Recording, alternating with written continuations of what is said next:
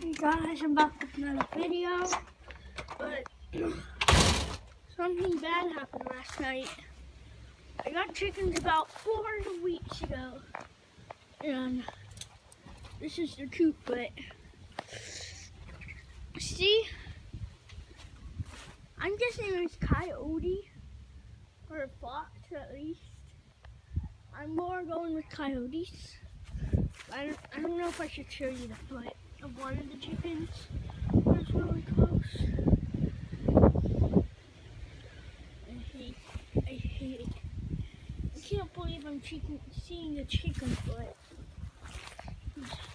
I didn't want to show you too much because uh, there's some blood, but look, it got in through here. There used to be a thing like that over there, except you can move it to the side, and it got tore up. There's pieces everywhere. Look, that was supposed to be all the way over here. Look, there's a perch right there. Now, all that's left are the feathers. And not good. Well, we're gonna miss them, but we're going to get more of them.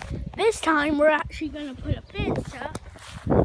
You know, okay guys, sorry, just switching around. This time, we're actually gonna put a fence up. Probably gonna get a new chicken coop. But I'll vlog it whenever we get there. I forgot I was on the face cam, so I was like, yeah. Plus, let me take a selfie. Yeah. Hope you guys enjoyed that short vlog. No, it's very short. It's like two minutes maybe, but I'm gonna start doing those. I'm gonna try to do long vlogs. And then Outlast 2 gameplay was supposed to come up last night, but I forgot to let it upload while I was asleep, okay? But today is gonna be the second part.